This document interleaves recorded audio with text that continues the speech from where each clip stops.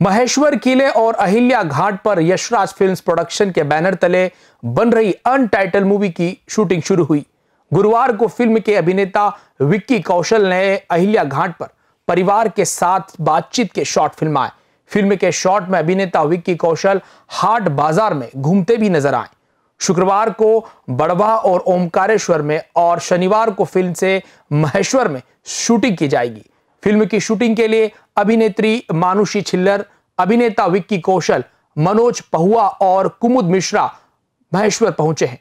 बता दें, Yashraj films production के 50 साल पूरे होने पर शूटिंग को लेकर मुंबई से भी लगभग 100 लोगों की यूनिट महेश्वर पहुँची है। वहीं शूटिंग में महेश्वर के लगभग 150 लोगों को रोज़गार मिला है। आपको बता दें, धूम थ्री फ़िल्म के डायरेक्टर विजय कृष्ण आचार्य इस फ़िल्म का डायरेक्शन कर रहे हैं।